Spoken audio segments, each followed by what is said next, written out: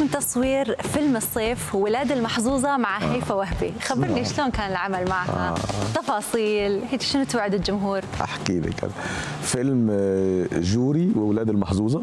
هو اسمه جوري. ولاد محظوظ ولا آه. بدلتوه؟ لا هو هو اسمه جوري. okay. هو الفيلم اسمه جوري وولاد المحظوظه يعني هو آه، يعني الاثنين مع بعض. آه هي اللي هو كامل كده. يعني هي جوري؟ هي جوري. okay. وموضوع يعني فيلم لطيف كده romantic comedy. حلو. وقصة أحداثها شبه أحداث القصص بتاعت آه، يعني زي Snow White كده والأقزام السبعة حاجات من الأشكال دي ومعمولة بشكل آه، لطيف وهادي كده ومختلف تماما عن كل اللي قدمته آه، هيفا قبل كده في السينما مخصوص يعني. أظن باين من الملابس والحاجات اللي, اللي نزلت اللي اتسربت مش اتسربت. اللي اتسربت بتاعت الملابس. يعني ملابس مختلفة تماما مش مش اللي متعودة عليه مثلا هيفا أو مش ال... مش شبه الحاجات اللي اتقدمت الفترة اللي فاتت خصوصا في الرومانتك كوميدي في الشكل ده بالذات من ال... يعني السينما. تحدي كبير أكيد لأنه إحنا يعني متعودين على هيفا المرأة الجميلة الحلوة اللي كل البنات يريدون يصيرون مثلها. هالمرة شنو اللي فعلا مختلف؟ لا هتفضل جميلة. جميلة. اللي هيختلف مفيش حاجة هتختلف. مفيش حاجة هتختلف. لا انت وين ماخذها؟ على أي آه لون أو على أي آه صورة؟ هي على بالظبط؟ بصي هي الفكرة إنه ال ال ال ما هي تفضل جميلة عشان بس نأكد الموضوع ده مش هيختلف في حاجة. نفضل نأكد. لا هي الفكرة إنه ال- الحكي ال- الحكي في القصص ال- اللي بطلتها ست مش موجود كتير قوي. أوكي.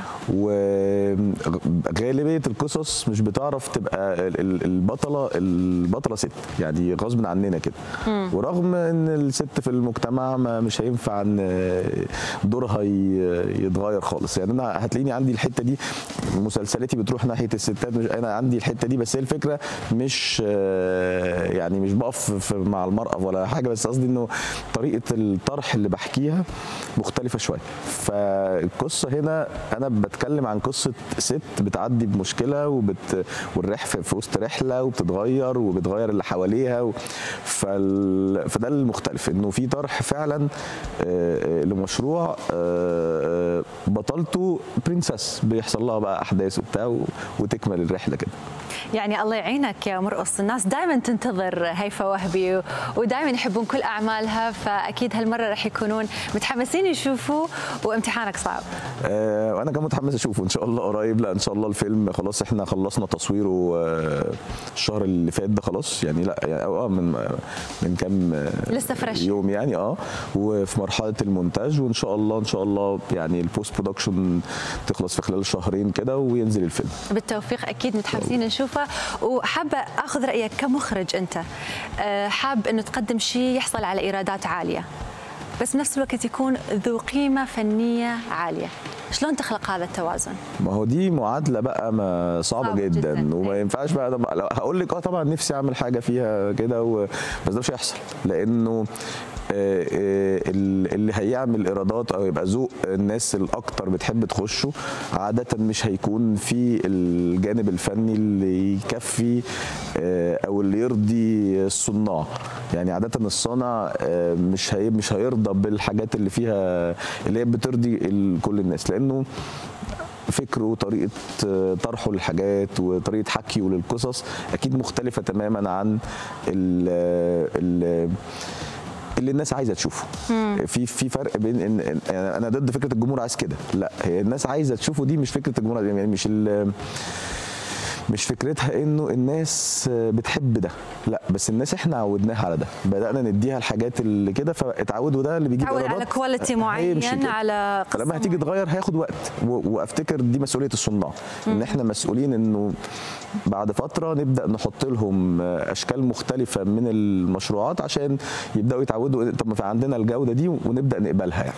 في الإمكانيات تحس إنه هل موجود الدعم اللازم؟ هل في الإمكانيات إن إحنا ممكن نش- نشفت هذا هذا الشيء يخلي المشاهد آه، آه، أنا يعني شايف الإمكانيات موجودة يعني مش بنسبة 100% بس الإمكانيات موجودة والأشخاص موجودين والصناع موجودين وقبل ما ما أدخل هنا كنت في في الكنترول شايف فريق عمل كامل مركزين وشاطرين وعندهم تفاصيل لطيفة و, و ع- يعني في كل آه، أنا شايف في كل جانب من جوانب الصناعة عندنا عندنا ناس شاطرة جدا.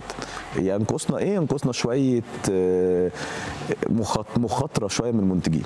أنت بس لأنه ذكرتهم هم يحبون الكريدت كلش هواية.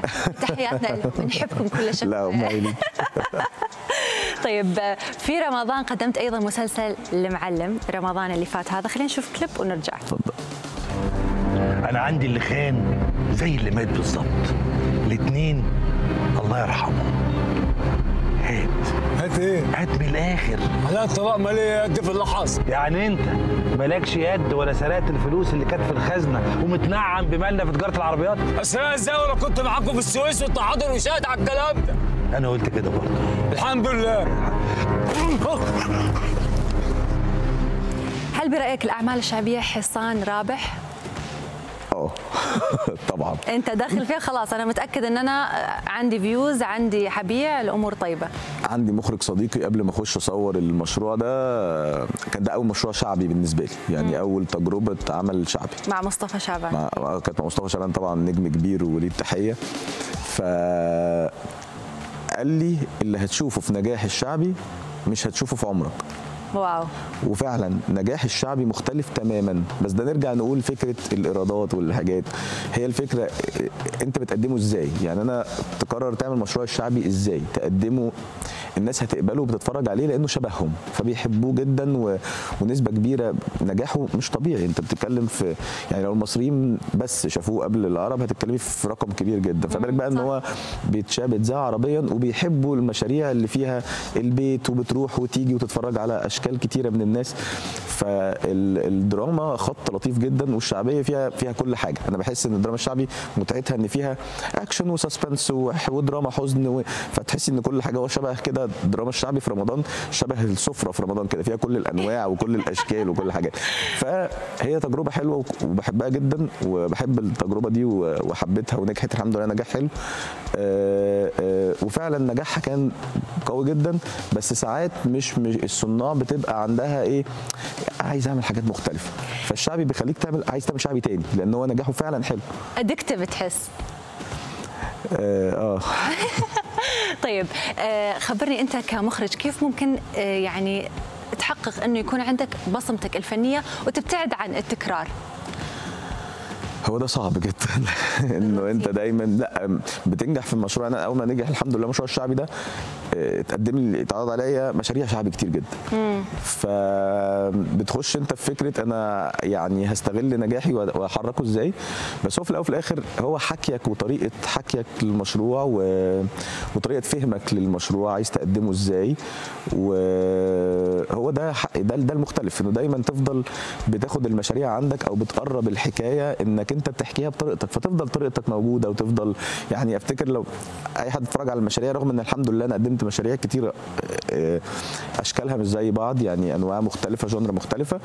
فدايما الناس بت- بتقول في حاجة من دي يعني في ده من من روح ده. وطبعا في تطو- تطور. أنا يعني أكتر حاجة بحبها لما أسمع كلمة لا ده ده مرقص اختلف على المشروع ده اللي فات. لا ده في تطور واضح. لأن التطور مهم.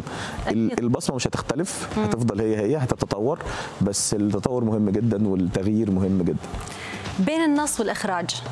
المعادلة صعبة برأيك هو هل واحد يسند على الثاني؟ منو بيهم؟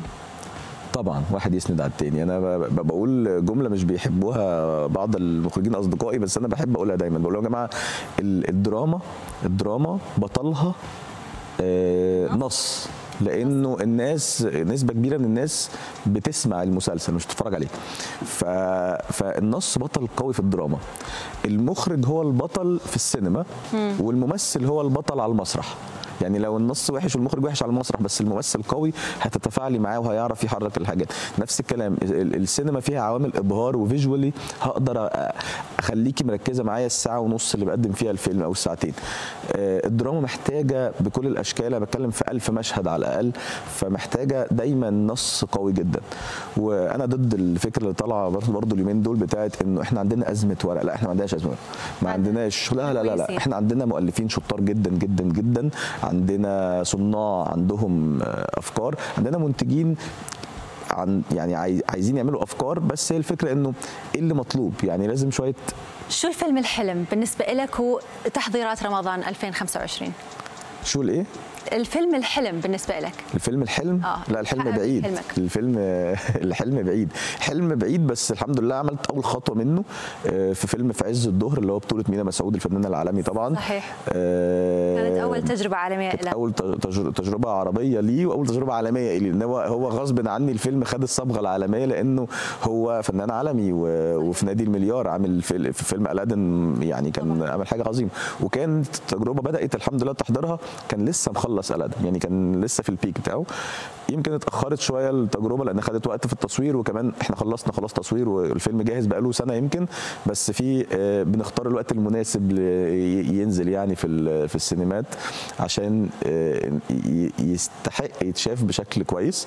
فده دي الخطوة الأولى. فكرة إنه أنا عايز أعمل عالمية بس آه، بصبغة مصرية وعربية.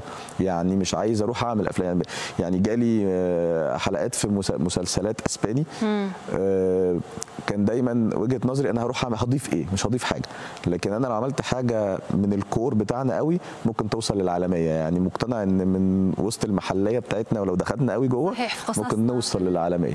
صحيح، فدي. دي الفكرة دايما اللي بتراودني يعني. حلو إنه في تأني بالموضوع. ما فيش تسرع. آه لا أنا ما فيش تسرع خالص. الحمد لله. حلو كثير. شكرا كثير لك بالتوفيق. منتظرين كل أعمالك أكيد وتحياتنا لك. شكرا ليكي